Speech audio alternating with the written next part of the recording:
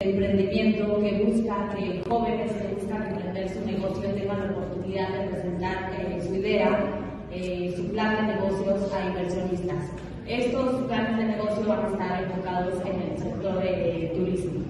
Eh, decidimos realizar este, este programa porque